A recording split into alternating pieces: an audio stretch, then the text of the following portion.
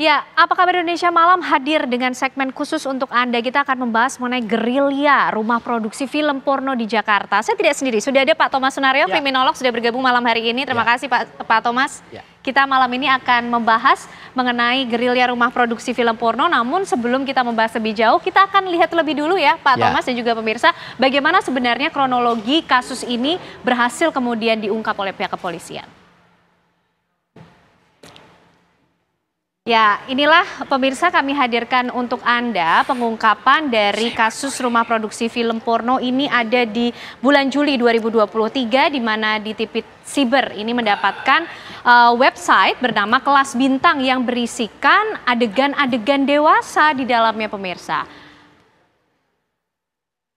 Kemudian pihak kepolisian meneruskan adanya temuan ini dikoordinasikan dengan tim terkait untuk ditindaklanjuti dilakukan penyelidikan akan aktivitas yang berlangsung di rumah produksi film porno di mana Polda Metro Jaya ini kemudian menerjunkan timnya menuju ke dua lokasi yang menjadi rumah produksi film porno yang berada di wilayah Jagakarsa dan juga Pasar Minggu Jakarta Selatan pemirsa.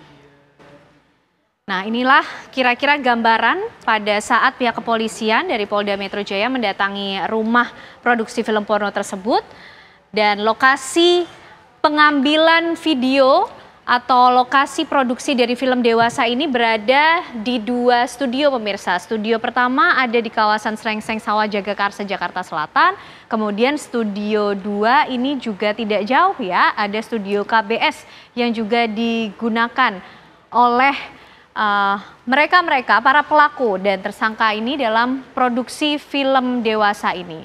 Dan sementara pemirsa di Jalan Raya Jati Padang, Pasar Minggu Jakarta Selatan, ini juga terdapat studio ya. Jadi cukup banyak ternyata Pak Thomas dan yeah. juga pemirsa studio yeah. yang digunakan sebagai lokasi rumah produksi film porno tersebut. Ini kemudian terus dilakukan pengembangan, dilakukan penyelidikan oleh uh, pihak kepolisian. Nah, Pak Thomas, kalau ya. tadi kita melihat lokasi-lokasinya, tidak hanya satu ternyata Pak Thomas, ada uh, dua studio bahkan yang digunakan dan lokasinya ini tuh berada di tengah-tengah pemukiman yang cukup padat loh Pak Thomas. Ya, ya. Nah, apakah memang uh, ini tidak terendu sama sekali oleh masyarakat? Karena sepadat itu Pak pemukimannya. Ya, sebelum sampai ke situ ya Mbak ya. Mm -hmm. uh, kebutuhan manusia yang dasar mm -hmm. itu seks. Ya, kalau nggak dasar kita nggak ketemu di sini lah ya. Mm -hmm. Kebutuhan mendasar. Gitu ya. mendasar. Ya. Nah, kemudian kan manusia punya peradaban ya di dalam mm, normatifnya itu ya e, melakukan hubungan seksual di luar pernikahan itu kan dilarang ya. Mm -hmm.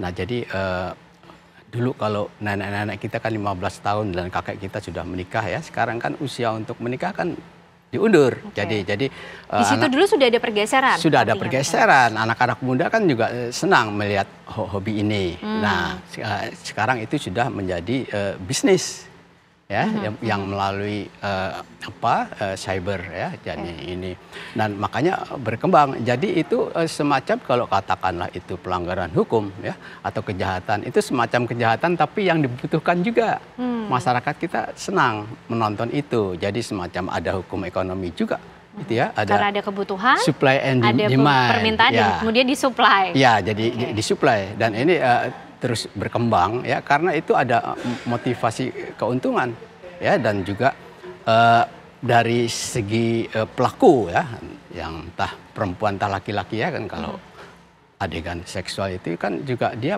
menerima uang yang cukup uh, besar hmm. ya kalau data yang perempuan Indonesia yang ikut membuat apa film di Jepang itu bisa miliaran rupiah okay. sekali uh, main hmm. gitu jadi sekarang ini juga di, di mm-hmm. kita eh, berkembang terus itu dan akan eh, tidak bisa dihilangkan sama sekali ya. Okay. Hanya eh, dibatasi lah gitu. Oke. Okay.